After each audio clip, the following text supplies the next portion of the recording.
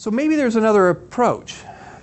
Like I said before, the Nissen fundoplication actually creates a whole new one-way barrier.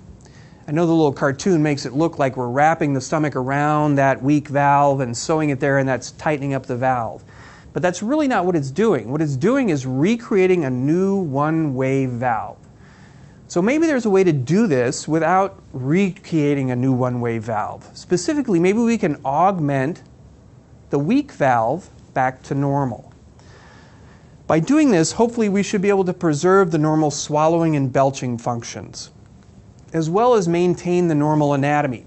You know, the Nissen really disrupts the normal anatomy, and that's why we get a lot of the side effects and problems associated with the Nissen.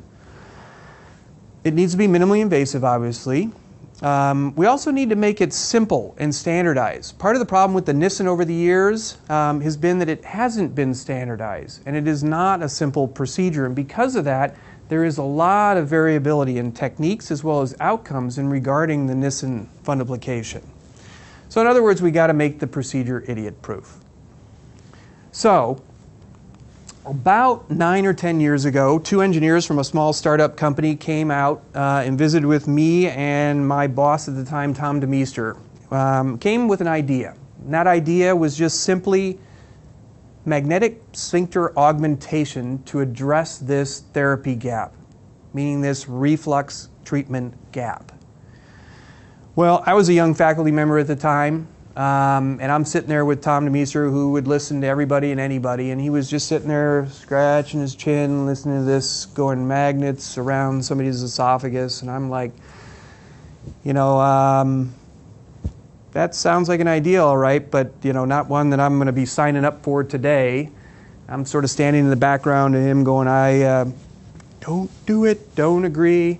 I've actually put together a list of the things that I thought in my lifetime were going to happen before I would be putting magnets around somebody's esophagus. This was one of them. This actually happened just a few years ago.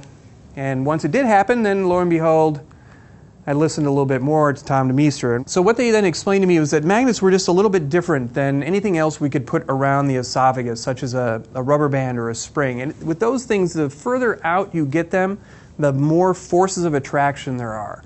But with magnets, it's quite the opposite. The further apart the magnets get, the least amount of forces they have of attraction. The closer they get, the higher the forces.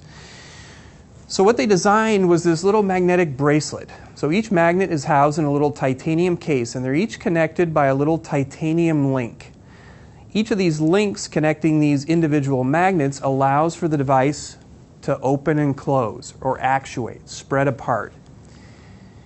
And so the idea here was, again, that valve at the end of the esophagus is the culprit. It's weak. And so the idea was to go in there and place the device around the end of the esophagus where that weak valve was. The device is not compressive, it's not squeezing the esophagus closed, but it's resisting the opening of the stomach and that lower esophageal sphincter. The forces of attraction are helping to keep it closed. The forces of a swallow, the force of a belch or a vomit, will cause the magnets to spread apart to allow for normal physiologic function. Um, ideally, this would be a laparoscopic placement, uh, 20 to 30 minute procedure, very limited dissection. We're not going to alter the anatomy substantially and potentially even make this procedure outpatient. And so this is a short little video clip of placement of a LINX device. What we're doing here, uh, this is the diaphragm up here. The spleen is located over here. This is the left crura, or the left portion of the diaphragm, and we're just creating a space or a little plane between the left crura and the esophagus here. We then go over to the patient's right side. This right here is the liver. This is the right crura. Here we've developed a little bit of a window uh, behind the esophagus. That was the posterior vagus. We're going to place the device between the posterior vagus and esophagus.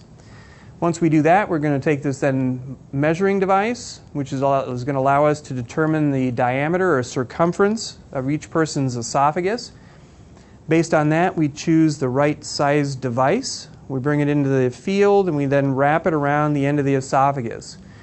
We then attach the two ends together. It's got a little clasp device on it that allows the two ends to hook together. We hook the two ends together and we let it just rest there right at the GE junction or lower esophageal sphincter. We should be able to start patients on a regular diet immediately post-op. It's a very limited surgery, so they should be able to go back on regular food immediately. It should allow them to belch, it should allow them to vomit, and ultimately it should decrease the gas and bloating issues that we've seen with the Nissen fundoplication. Well, how did this device get to market? I think this is worth at least a little bit of a discussion because it's very different than a lot of the other devices out there and a lot of the other procedures out there. I can tell you this most other procedures and devices come through the FDA through what's called a 510K pathway. And what that is is where a technology piggybacks on top of some other existing technology. And when it does that, it doesn't really have to provide a lot of robust data. Well, that's not the way the LINX procedure came down and got approval. The LINX procedure came down what's called a PMA or IDE, IDE trial. And what that is is really going through two different FDA regulated clinical trials. There was first a feasibility trial of 44 patients, and based on the results of that, they got approval to do what's called the pivotal trial. That was 100 patients. Um, the first implant was about February of 2007, and five years later, they received unanimous FDA recommendations and subsequent FDA approval for their device. Um, the results of the pivotal trial, this is also worth pointing out, was published in the New England Journal of Medicine. That is fairly unusual and fairly rare for a device related publication to be accepted and published in the New England Journal of Medicine. Um, both of the trials, the feasibility as well as the pivotal trial, um, had basically the same inclusion and exclusion criteria. Patients were 18 to 75 years old, they had to have GERD symptoms for at least six months they had to have pathologic GERD based on pH testing. So they had to have a positive pH test. They had to be on daily PPIs and they had to show some degree of symptomatic improvement while on the antacid medications. Um, we did exclude hiatal hernias that were greater than three centimeters, the larger grade esophagitis, Barrett's esophagus, and some motility disorders. What was different about this trial compared to a lot of other trials is what we didn't look at just symptoms. The primary endpoint of the study was really acid exposure, how much reflux these patients had after the procedure. We also looked at secondary endpoints or symptoms, GERD HRQL, um, as well as medication use or PPI use. The procedure was very uncomplicated, both in the feasibility as well as the pivotal trial. Um, there was really no procedural failures. Um, there was no op- operative complication rate. Um, no problems at discharge. Half the patients went home the same day, the other half went home the very next day. Well, the device worked, and there's been numerous different publications uh, on the success rate of the device. This first graphic here is in regards to percent time pH less than 4. So that's a measurement of esophageal acid exposure. In all of the studies, patients went in with a very high exposure to esophageal acid, upwards of 11 or 12 percent which is represented in the dark blue here. Post implant, patients came down to around 3.5 to 4%. All right, that's well within normal limits. We saw that in the pilot study as well as the pivotal study, and out in Italy, where they've got over 100 patients out, almost six years now, saw very similar findings with pH uh, upwards of 8% pre procedure um, and down around 4% post procedure. All right, well, the pH scores were normalized, but what's important also is whether or not patients were actually feeling any better. And so we looked at that also with what's called GERD HRQL scores. What that is is a questionnaire that goes over how miserable a patient is due to their reflux. The higher the score, the more miserable the patient. So going into each one of these studies, patients were fairly miserable. They had GERD HRQL scores of upwards of 25, 26, which is fairly significant. Post procedure, which is represented in the light blue here, most patients were down around 2 and 3 for their GERD HRQL scores. Um, quite an improvement from pre op. Um, well, the other thing that's important, obviously, is if patients were able to get off their medications. Uh, again, the Nissen literature will suggest that 30% have to go back on, or maybe as high as 40%. So that was looked at also. By definition, 100% of patients in the study were on proton pump inhibitors. Uh, Post-operatively, out to four years in the pilot study, over 80% of them were able to stop their antacid medications. Again, in the pivotal trial, similar findings 100% were on their medications going into the study, and again, over 80% were able to stop their medications afterwards. Italy's experience and then a European registry of almost 250 patients again shows the same thing. 100% of patients on medications going into the study after LINX placement, that drops down to around 80%. Um, patients also noticed improvement in regurgitation. Um, almost all patients, upwards of 90% of them, had some degree of regurgitative symptoms before implant of the device. Postoperatively, at one, two, and three years, that dropped off significantly, down to around 20%, most of which was very mild as far as regurgitation. Well, what about my ability to belch and vomit? You told me that was one of the biggest downsides to the Nissen fundoplication. Well, we looked at that also, and most patients, almost all patients, I'll say, were able to belch and vomit after the LINX procedure. This top right pie graph here represents what the findings in that. About 97% of the patients could vomit at four years after the procedure. The uh, other pie graph here represents the ability to belch. 97% of the patients were able to belch after placement of the LINX. The bottom two bar graphs here was sort of a surprising finding. Um, the first of which is the bloating frequency. Almost 40% of patients before we did the LINX procedure on them reported severe bloating. Bloating is a very common symptom associated with reflux. After you have a Nissen fundoplication, that bloating goes up to about 70 or 80% of the patients. Their bloating actually worsens in the majority of the patients. Surprisingly, what we found after LINX placement was the bloating actually improved. So the bloating went from 40% of the patients down to around 15, 10% by one and two years out from the procedure. We also noticed a decrease in flatulence or gas from below. So again, about 35% of patients going into the study had increased flatulence. Post LINX procedure, that dramatically decreased to down around 15, 10% by two, three, and four years out from the procedure. The main side effects of the procedure have been really temporary and self limiting, um, and that's been dysphagia, difficulty swallowing. With the Nissen fundoplication, we also see difficulty swallowing. It's pretty much universal. Because of it, we usually send a, a Nissen patient home on liquids for several weeks before sending him home, then on soft foods after that. With the LINX device, because it is a, a foreign body, it's an implant. It's similar to like a knee replacement.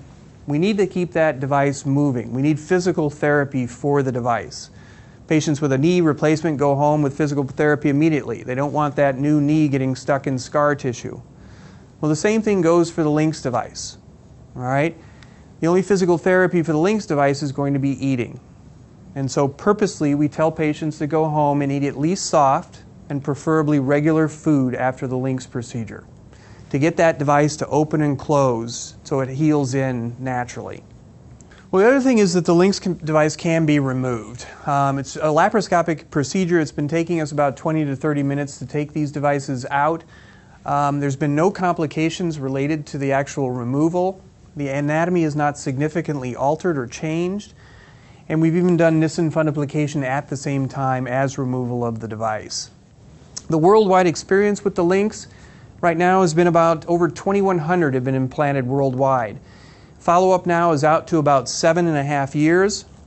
There have been no procedural complications. The reversal rate or need to explant or remove the device has been hanging around 2.5 to 3 percent.